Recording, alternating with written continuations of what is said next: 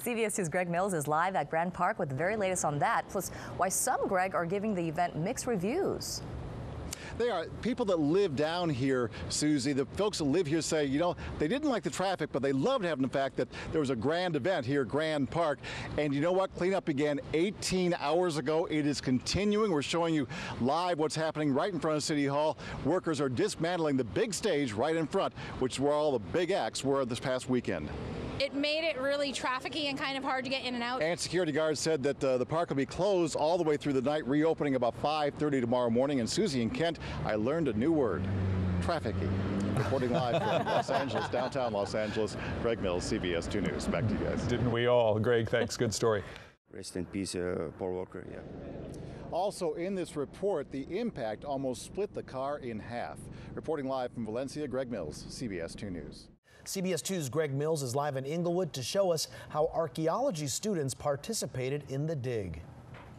And Juan, these are the archaeology students. Wow. We're in front of the uh, uh, grandstand here at Hollywood Park, about eight feet down. We're in the paddock area. Look at the work they got here at 8 o'clock this morning. You can see the work they have done, and you, it's uh, just impressive right here. The front end of the horse right here, you see the ribs and the back of the hindquarters, but uh, quite the job they have done here today at Hollywood Park he was family. Certainly was. We found out today that there were three horses that were buried here on the property of Hollywood Park. Two have been exhumed, and this one is going to be exhumed. A Native Diver will end up final resting place at Del Mar, which is a site of his final win.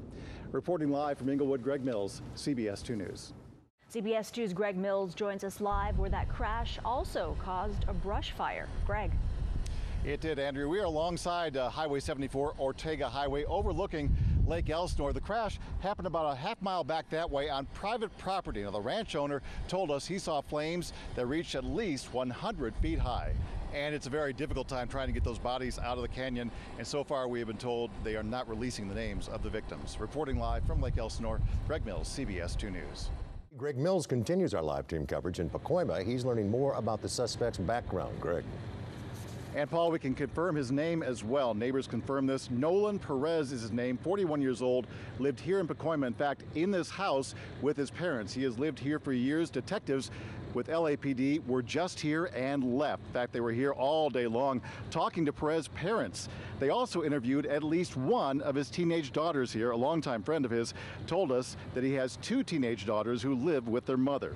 Neighbors said Perez has been in a lot of trouble. CBS 2 found Perez has three prior convictions for domestic violence and two weapons charges. And CBS 2 got a copy of a criminal complaint which shows seven recent allegations of criminal threats against a woman. Neighbors say Perez has exhibited bizarre behavior around here. I saw the guy really watching the car, and I said, What's going on with the guy? He was watching the car with a my rifle here, you know. I explained to my wife, and uh, said, that guy, he's crazy, you know. And a man who has known uh, Perez since he was about five years old, knows him very well, says he definitely has some issues and that his family had tried to get him some help. Reporting live from Pacoima, Greg Mills, CBS 2 News. With me is Mary Amante. Now, her husband works on the base. He's off the base right now. Her concern is that her five-year-old daughter is at a daycare center right now. How are you dealing with this? I'm, I just want my baby. I just want to get her out. I've been watching you. You're just just like any parent would be, just nervously pacing. And, and you've spoken to your daughter, so you know she's okay, right? She's okay. She just kind of confused about what's going on. Five year old. What did you tell her? I told her that she might be there a little bit longer, um, but that the other children would be there with her. Mary, you were at work. Your husband called you, and what did he say? He said that the base was in lockdown because there's a strange man um, seen with a backpack, and they don't, they can't find him, so it's just on lockdown. Is your husband okay? He's okay. He's not. They won't let him in on, on base. Mm-hmm. The reunion tonight with your daughter, what's it going to be like? magical. The best ever. I yeah. can see your near tears. Mary, thank you very much. Our best to you. So that's the situation here outside Los Angeles Air Force Base. Reporting live, Greg Mills, KCAL 9 News. Paul and Pat, this is Baseline, runs right past Alta Loma High School, which is maybe a block west of where I am. The girls were walking home about 2.30 this afternoon. They were on this sidewalk right here. A car jumped up over the curb, took out a tree, and then hit those three girls pinning one under the car and against the tree. Take a look at the uh, video we have for you. You'll see how badly damaged this car is. The three girls, I'm told they are two freshmen and a sophomore from Alta Loma High School. And the Sheriff's Dep- uh, Department told me that all three of the girls suffered major injuries. As you mentioned, they are hospitalized right now. I spoke to a gentleman who was inside his house directly across the street. He heard this and came running out with his son to help the girls out. A loud boom that shook my house. I thought somebody ran into my house or in, in one of the vehicles in front of my house. And then you came out here, and, and what'd you find? out, and there was kids on the ground. Yeah, one girl was pinned between the car and the tree, which was pinned under partly under the car. Somebody lifted it off. Yeah, I had a few, of my son and a few other guys lift the car up off of her, pulled her free.